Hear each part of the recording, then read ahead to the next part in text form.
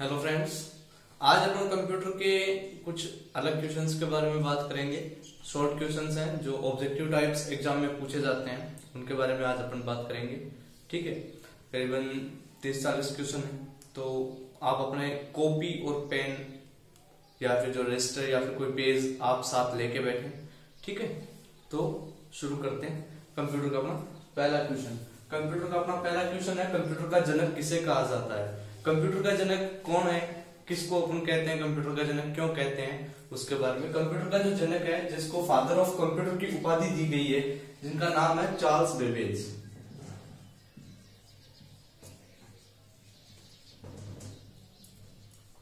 ठीक है, अब सवाल पैदा होता है चार्ल्स बेबेज को ही क्यों कहा जाता है? चार्ल्स बेबेज को इसलिए कहा जाता है क्योंकि चार्ल्स बेबेज ने एक इंजन बनाया था, जिसका नाम था एनालिटिकल इंजन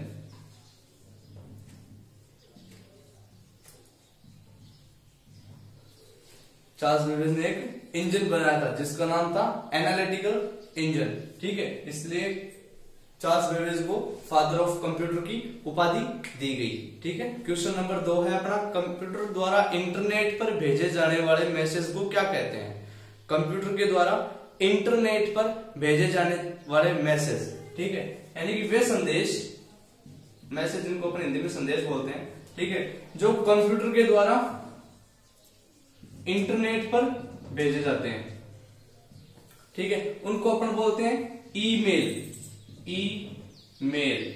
ठीक है? ईमेल किसको कहते हैं? वे संदेश जो कंप्यूटर के द्वारा इंटरनेट पर भेजे जाते हैं, उनको अपन ईमेल बोलते हैं। और ईमेल का जो पूरा नाम है, वो है इलेक्ट्रॉनिक मेल। ईमेल का जो पूरा नाम है, वो है इलेक्ट्रॉनिक मेल, ठीक है? उसके बाद में क्वेश्चन आता है इलेक्ट्रॉनिक मेल के बाद में। इंटरनेट जो है, उसका जनक कौन है? फादर ऑफ़ इंटरनेट इंटरनेट का जनक कौन है? इंटरनेट का जनक है विंट सर्फ विंट सर्फ नाम देख लेना।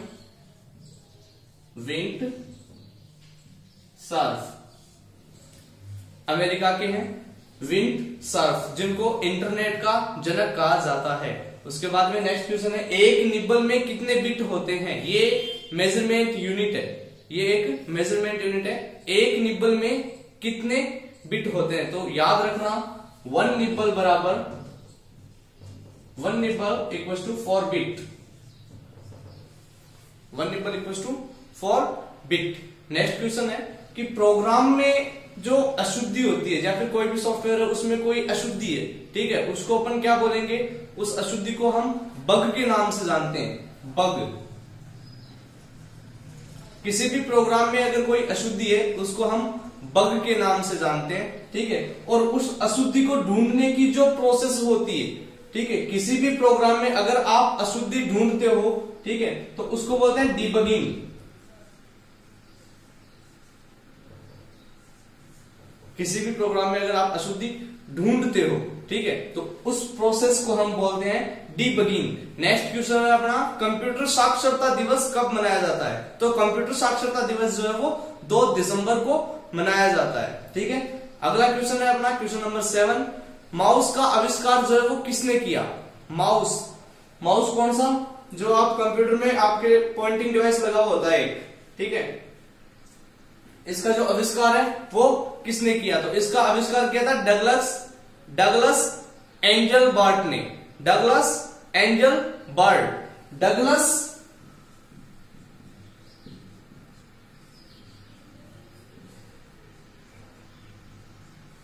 Douglas Engelbart ने ठीक है? माउस का जो आविष्कार किया था, वो किया था डगलस एंजली बार्ट ने उसी के बाद इसी सीरीज़ में ले लेते हैं अपना कीबोर्ड जो होता है अपना। कीबोर्ड का आविष्कार किसने किया? कीबोर्ड का आविष्कार किया था Christopher Latham Sholes Christopher Latham Sholes keyboard का आविष्कार किसने किया था?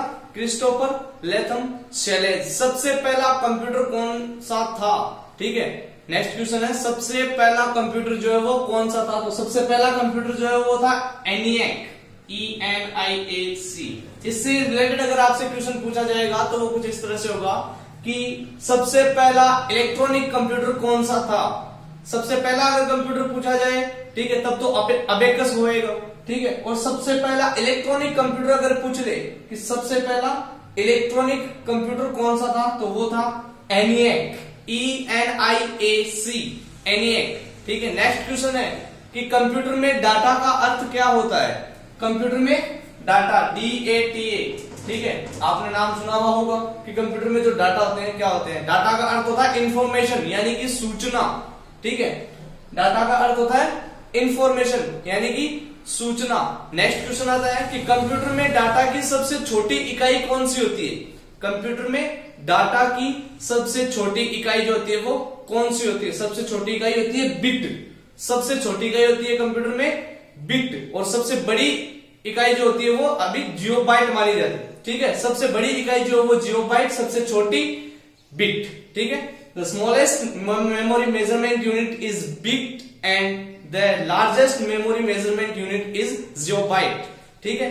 नेक्स्ट क्वेश्चन है एआई यानी कि आर्टिफिशियल इंटेलिजेंसी आर्टिफिशियल इंटेलिजेंसी का जनक किसको कहा जाता है? ए आई आर्टिफिशियल इंटेलिजेंसी आप जानते हो कि आर्टिफिशियल इंटेलिजेंसी क्या होता है? आर्टिफिशियल इंटेलिजेंसी मानव के द्वारा निर्मित कृत्रिम बुद्धि, ठीक है, जिसको अपन कृत्रिम बुद्धि के नाम से जानते हैं, ठीक है, वो होती है आर्टिफिशियल इंटेलिजेंसी ठीक है तो आर्टिफिशियल इंटेलिजेंसी का जनक किसको कहा जाता है? आर्टिफिशियल इंटेलिजेंसी का जनक कहा जाता है जॉन मैकार्थी को।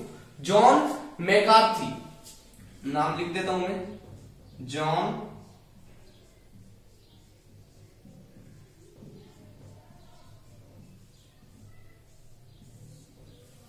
McCarthy John McCarthy next question है कंप्यूटर साइंस के जनक कौन है? The father of computer science computer science के जनक का नाम है एलन ट्यूरिंग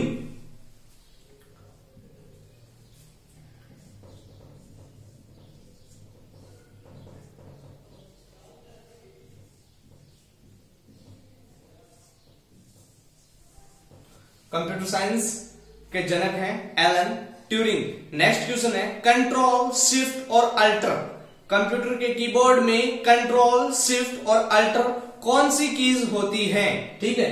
कंप्यूटर के कीबोर्ड में कंट्रोल शिफ्ट और अल्टर कौन सी कीज होती हैं? तो कंप्यूटर के कीबोर्ड में कंट्रोल अल्टर और शिफ्ट वो, इनका, इनको अगर अपन बोला जाए तो इनको मॉडिफायर की या फिर कॉम्बिनेशन की बोलते हैं।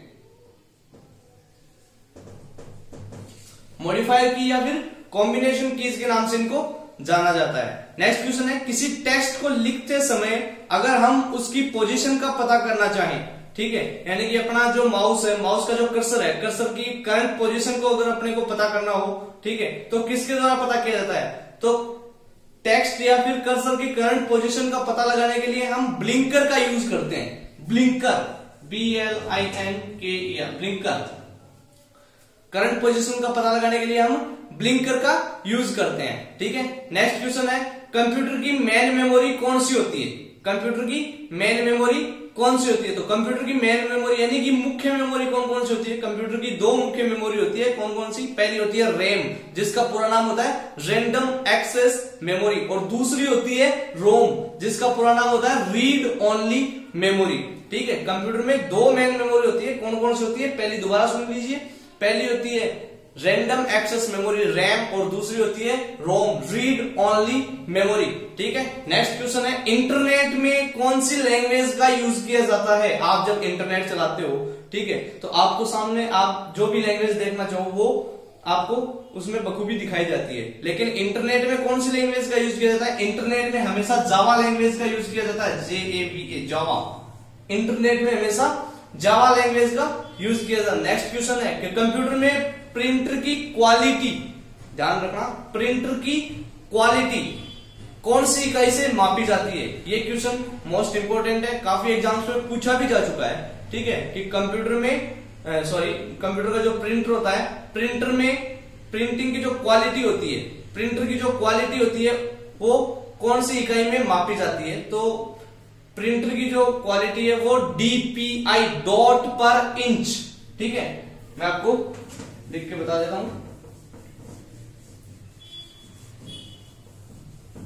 कि प्रिंटर जो होता है,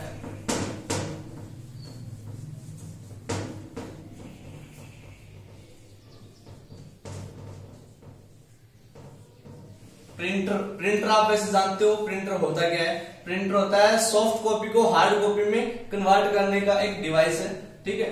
प्रिंटर ठीक है? प्रिंटर की जो क्वालिटी होती है, यानी कि गुणवत्ता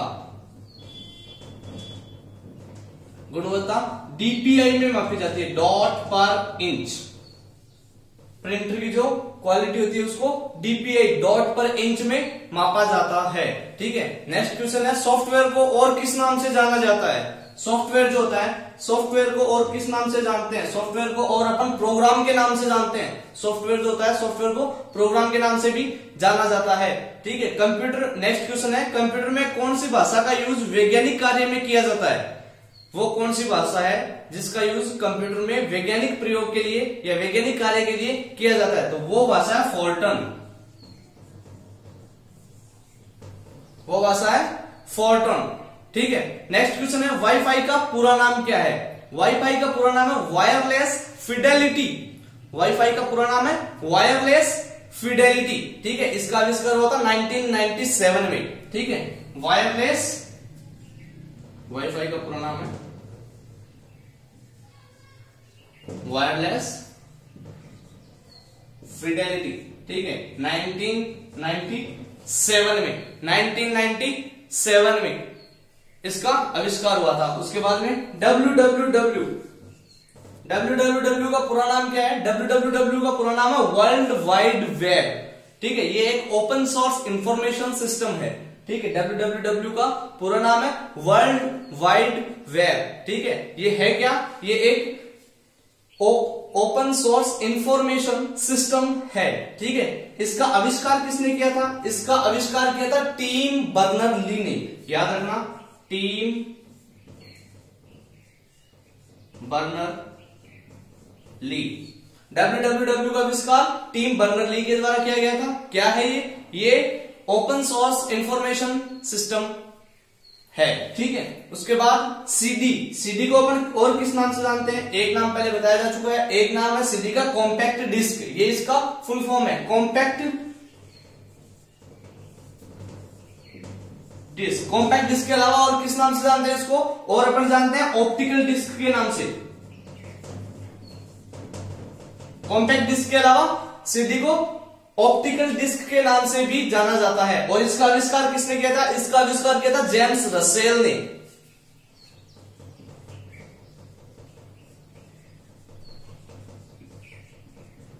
सीडी का जो आविष्कार है वो जेम्स रसेल के द्वारा किया गया है। ठीक है? नेक्स्ट क्वेश्चन है अपना कि विश्व का सबसे पहला कंप्यूटर नेटवर्क कौन सा है?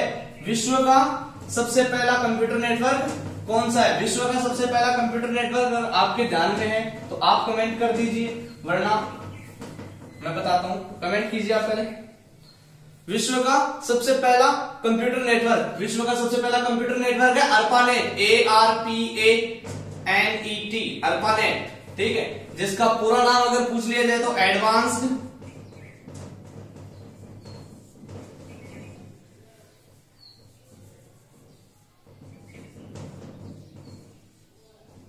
research project agency network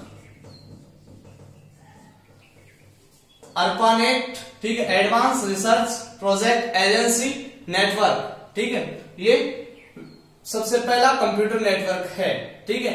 next question है, किसी भी चलते हुए कंप्यूटर यानी कि कोई भी कंप्यूटर अगर चल रहा है या फिर कोई भी प्रोग्राम अगर चल रहा है, ठीक है? अचानक वो चलता चलता बंद हो जाता है। यानी कि किसी चलते हुए कंप्यूटर या प्रोग्राम का अचानक चल, चलते हुए बंद हो जाना, ठीक है? या फिर अचानक बंद हो जाना क्या कहलाता है? ठीक है? कोई भी कंप्यूटर है या फिर कोई भी सॉफ्टवेयर है चल रहा है, कोई प्रोग्राम चल रहा है ऑटोमेटिक लेकिन अचानक वो बीच में बंद हो जाता है तो उसको अपन क्या बोलते हैं? उस कंडीशन को अपन बोलते हैं क्रैश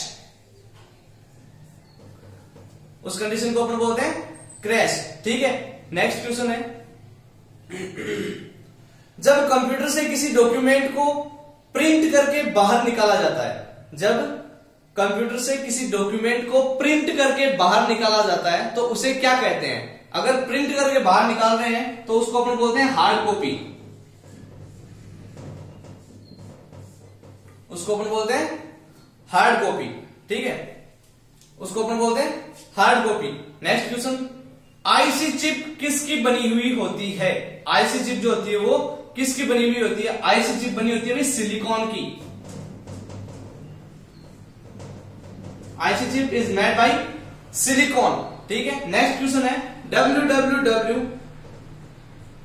का बैकबोन यानी कि डब्ल्यू डब्ल्यू डब्ल्यू का बैकबोन किसे कहा जाता है? डब्ल्यू डब्ल्यू डब्ल्यू अभी आपको बताया है world wide web open source information system है। उसका बैकबोन क्या है? उसका बैकबोन है एच टी टी पी ये एक प्रोटोकॉल है, ठीक है? हाइपर टेक्स्ट ट्रांसफ़र प्रोटोकॉल ठीक है? डब्ल्यू डब्ल्यू डब्ल्यू का बैकबोन क्या है? H T T P hypertext transfer protocol ठीक है? नेक्स्ट क्वेश्चन है कंप्यूटर का दिमाग किसे कहते हैं? कंप्यूटर का दिमाग किसे कहा जाता है? तो कंप्यूटर का दिमाग किसको कहा जाता है भाई? कंप्यूटर का दिमाग कहा जाता है माइंड कंप्यूटर का माइंड किसको कहा जाता है? सीपीयू को. सीपीयू जिसका पूरा नाम होता है सेंट्रल प्रोसेसिंग यूनिट हिंदी में बोले तो केंद्रीय संसाधन इकाई. केंद्रीय संसाधन इकाई. ठीक है? आज के लिए बस इतना। काफ़ी बाकी अपन मिलते हैं अगली क्लास में।